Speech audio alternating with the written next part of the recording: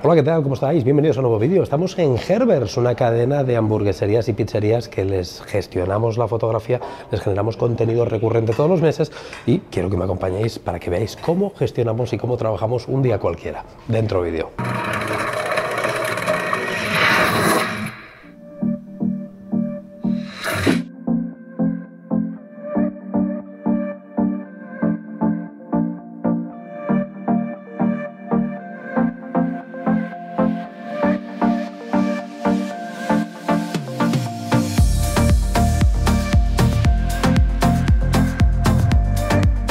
Plano comensal más recta, plano en diagonal. Vale. que A mí me gustan mucho estos planos, dan más volumen y generan más, más tensión, esta diagonal.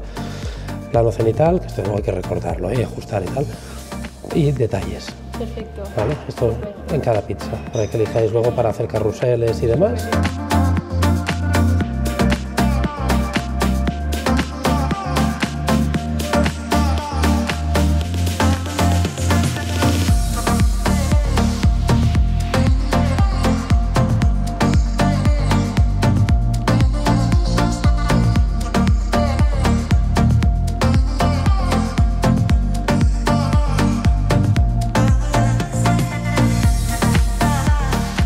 Iluminar estas fotografías vamos a trabajar con el Click Softbox 2,7 de Profoto, que es un softbox equivalente a 80 centímetros de diámetro, con el Profoto A2, un flash que lo colocamos de manera imantada.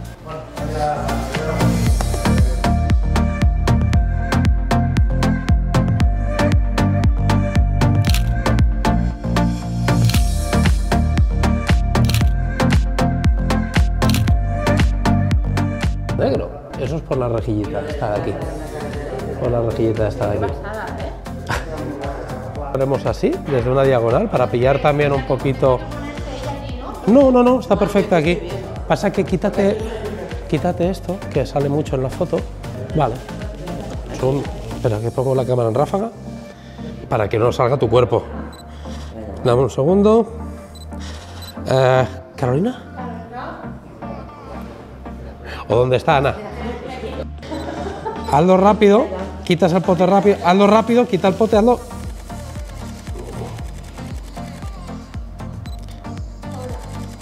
Te tengo.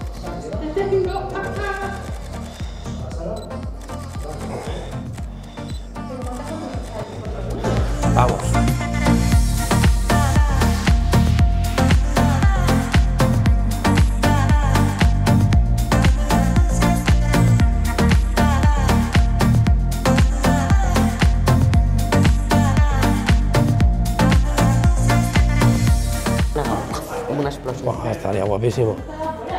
Estaría guapísimo, sí. Estaría guapísima, guapísima. Un splash de harina, dice ella. Que es reventar todo, dejar caer una pizza con, Dejar caer en el momento que está todo explosionado de harina. en una montaña, hacer una montañita aquí de harina, dejas la pizza caer, yo pillo una ráfaga y pillas el momento que la harina sale disparada ¡fu! por los lados. Eso es lo que necesitamos. Pues eso lo, eso lo haremos ahora. Como veis estamos haciendo distintos tipos de fotografía en pizzas. Hemos hecho primero de todo unas pizzas simplemente con planos para que ellos jueguen para catálogo, un plano de detalle, un plano comensal, plano cenital para que tengan carrusel. Después hemos montado un pequeño bodegón jugando con luz ambiente y con Flash, gracias al grid, hemos conseguido controlar muchísimo, muchísimo la direccionalidad de la luz, que el entorno de la mesa quedara bastante oscuro y simplemente que nos diera un poquito de luz tenue de los focos de atrás. Y ahora lo que vamos a hacer, Monse ha puesto aquí una base de harina grande. Esta base de harina queremos hacer un splash en el que Monse tire la pizza desde arriba, yo preparar la cámara en ráfaga y en el momento que caiga, la explosión de harina va a ser lo que va a ser más llamativo de la fotografía. Nunca utilizo trípodes porque me restan mucha creatividad y movilidad y me obligan a hacer una fotografía muy estática. Y yo creo que en gastronomía lo importante es movernos y bailar, como digo, alrededor de la fotografía. Lo que pasa es que en este caso del splash este que os he contado que vamos a hacer, eh, puede ser que salgan varias fotografías muy bien. A la hora, pensando en un después, a la hora de editar la fotografía, aunque yo tenga muy buen pulso, si lo hago a mano, la ráfaga, me saldrá una fotografía, cada fotografía un poquito de su padre y de su madre, distintas. Lo que voy a conseguir con el trípode es que sea exactamente el mismo encuadre, de manera que tendré que editar solamente una, incluso con pinceles locales, y lo aplico al resto de fotografías.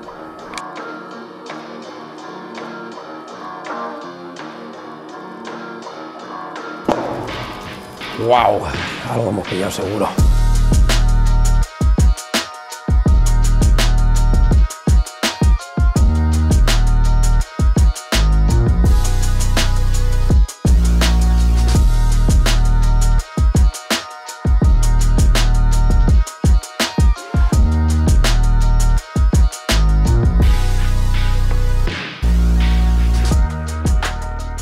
Vamos a hacer ahora estas hamburguesas que se vean el fondo un poquito desenfocado. Tenemos unas luces de atrás que vamos a trazar una diagonal, son unas luces cálidas, las quiero utilizar como desenfoque. Por lo tanto, lo primero que vamos a hacer para integrar esa luz ambiente con la luz de flash, con el flash apagado, hacemos una fotografía con los parámetros que nosotros veamos que nos gusta para el fondo. Ahora mismo estoy con unos parámetros de un de 1 barra 100 de velocidad de obturación F22 y el ISO el mínimo nominal, que es ISO 200. Tenemos ya por lo tanto el fondo bien iluminado y ahora nos queda iluminar eh, simplemente la burger, que lo hacemos con el flash. Enciendo gracias al disparador este de Profoto, encendemos el flash, hacemos un test para ver que está conectado. Tenemos el flash con un grid, con un nido de abeja, para que este nido de abeja nos canalice la luz que solamente nos direccione hacia la hamburguesa. Estamos trabajando con un esquema de iluminación de 45 a 3 cuartos. Me interesa que la luz venga desde atrás y un poquito de arriba para aportarle brillos. Y si en la parte de aquí tengo que rellenar algo, lo podemos hacer de varias maneras. Lo podemos hacer con un cartón pluma o incluso lo podemos hacer en postproducción. A día de hoy tenemos suficiente rango dinámico en nuestras cámaras para poder hacerlo sin generar prácticamente ruido y menos para una fotografía que va a ser para entorno digital. Encendemos el flash ahora con el flash hacemos ya la fotografía y aquí tenemos el resultado.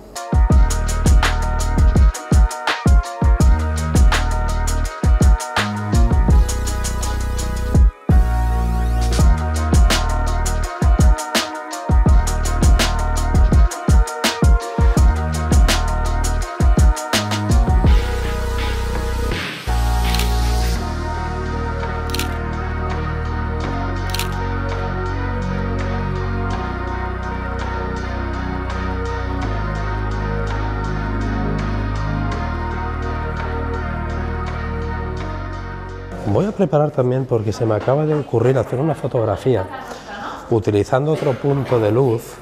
En este caso voy a utilizar un flash A10 y voy a utilizar el nuevo Magnum Click que es simplemente un reflector, una campana reflectora que nos va con nido de abeja, con grid, se imanta de manera súper sencilla como todo este sistema click y voy a hacer una iluminación en la que mientras alguien me va a sujetar el flash así de manera cenital que me haga un halo de luz y lo relleno un poquito por la parte de adelante con cartón, pluma o con postproducción.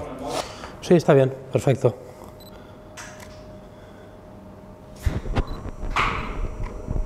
Como estáis viendo, Sergio me está aguantando el Magnum Click eh, de manera cenital. Lo tengo puesto en TTL con los totales automatismos de Profoto y realmente que el resultado es espectacular, lo clava la primera. Al tener el Magnum con este grid tenemos un control absoluto de la luz y estamos consiguiendo una fotografía un poquito más teatral con una intención totalmente distinta a lo que hemos hecho hasta ahora.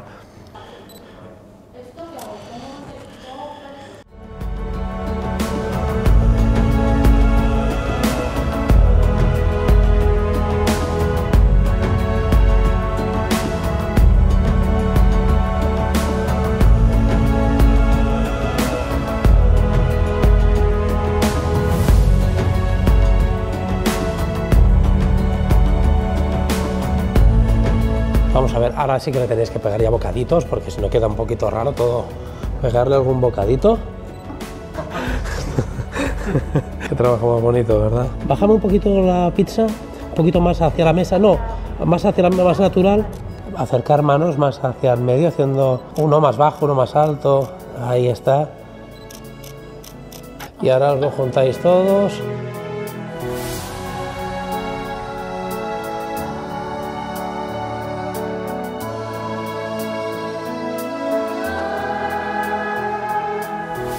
Y ahora ya solo nos queda el último paso, que es que Alejandro, el propietario, pues seleccione las fotografías. Es una de las ventajas de haber disparado en tethering, que puede ver al momento pues todas las fotografías que hemos ido haciendo, las va seleccionando y de esta manera agilizamos el flujo de trabajo.